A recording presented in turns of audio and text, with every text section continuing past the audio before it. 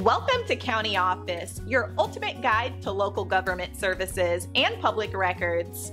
Let's get started. How do I find Camden County, New Jersey public records? Finding public records in Camden County, New Jersey can be straightforward if you know where to look. Start by identifying the type of record you need. Are you searching for birth, death, marriage, or divorce records? Or perhaps property records, court records, or business licenses? For vital records like birth, death, marriage, and divorce certificates, you should contact the New Jersey Department of Health's Vital Statistics and Registry. You can request these records online, by mail, or in person. Ensure you have a valid photo ID and the required fee. As of 2023, the fee for a certified copy of a vital record is $25.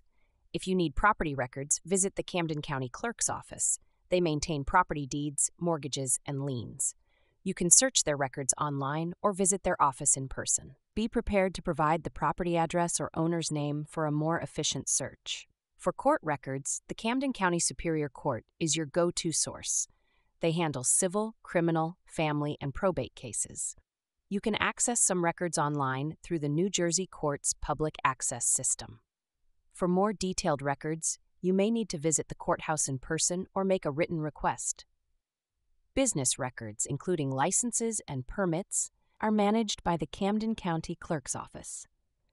You can search for business filings online or request information directly from the office.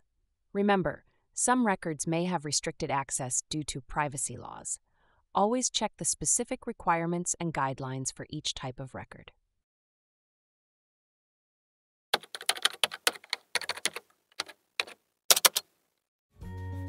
To learn more, check out these links, which you can click in the description below.